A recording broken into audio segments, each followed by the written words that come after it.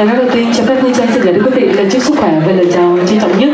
À, rất là lâu rồi Phương Trang mới quay trở lại uh, Virginia à, và rất là vui khi mà uh, được gặp gỡ quý vị trong buổi tiệc ngày hôm nay.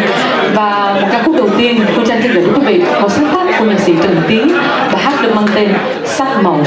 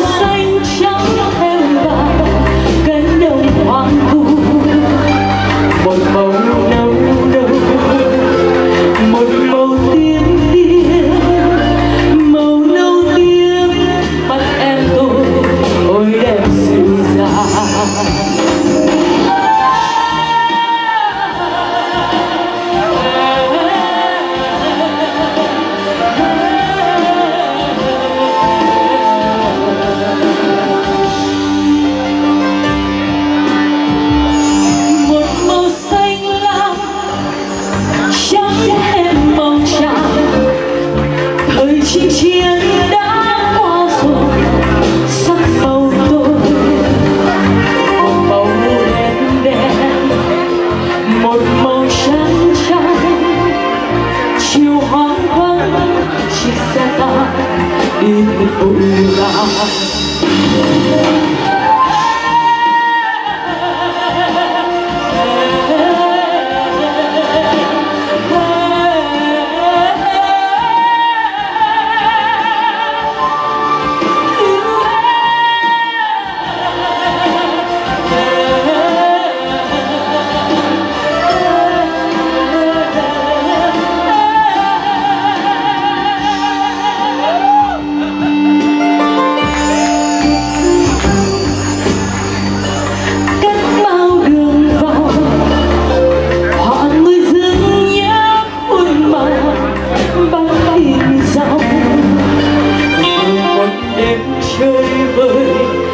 làm sao vẽ bóng tôi làm sao vẽ cánh hoa đêm không màu?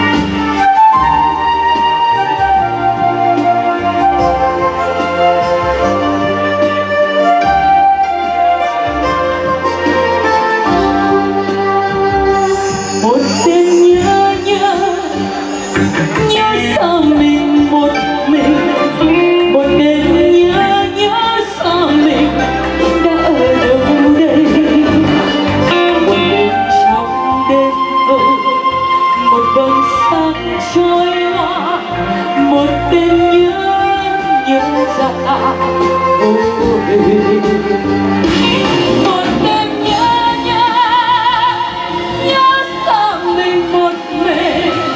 Một đêm nhớ sao mình đã ở đâu đây? Một đêm